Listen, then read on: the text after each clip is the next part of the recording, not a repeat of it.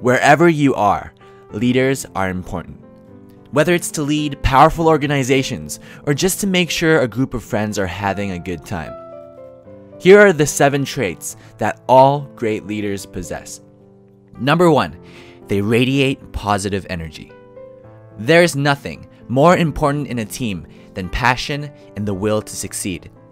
And having a positive leader is an important part of that. Sometimes I sign onto Facebook and I see these status updates that just reeks of negativity. These people are not good leaders, and more often than not, they are not very successful either. Great leaders radiate positive energy. Not only does that make them more likable, leading to more trust, it also boosts the team's morale.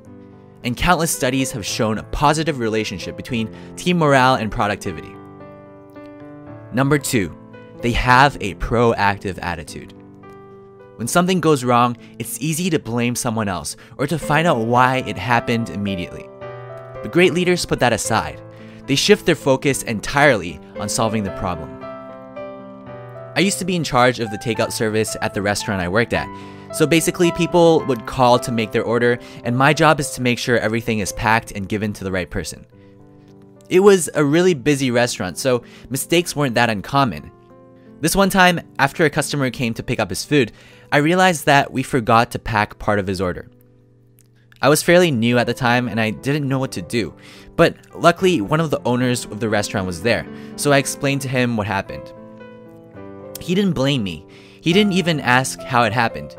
Instead, he told me to call the customer, apologize for what happened, and then tell him that we will personally deliver the missing part of his order to his house.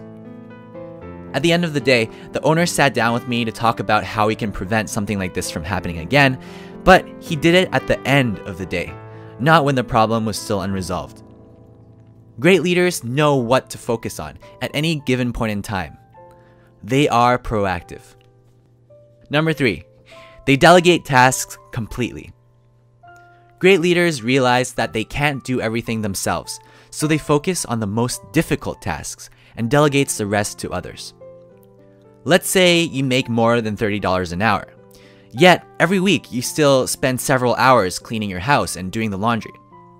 Considering a maid costs around $30 an hour, you might decide it's worthwhile to hire one to do your housework for you.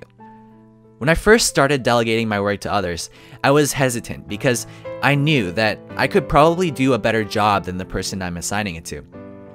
For example, a maid might put your clothes in the wrong drawer every once in a while, but you should still hire her because the extra time you get to work on more valuable tasks generally outweighs the negatives.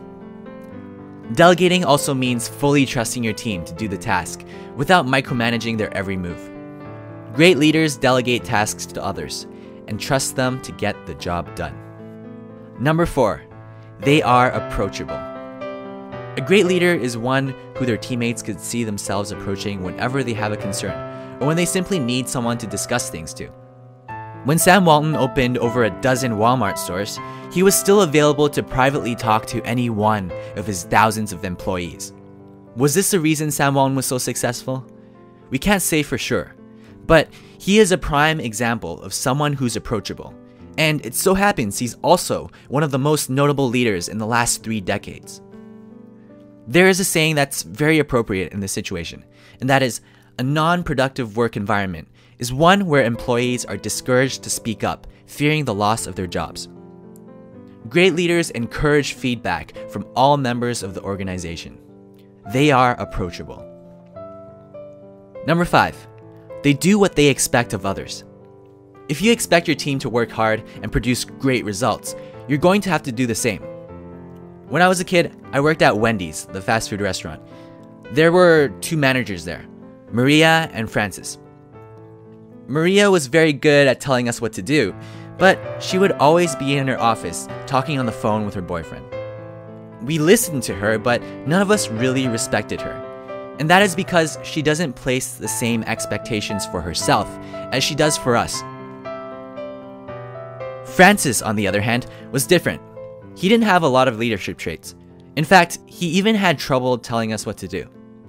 But the one thing he did have was he pulled his own weight. When it was busy, he would grab the spatula and start flipping burgers alongside us. As a result, he gained the respect of everyone. Whenever he was our manager, we worked hard because we wanted to, for Francis.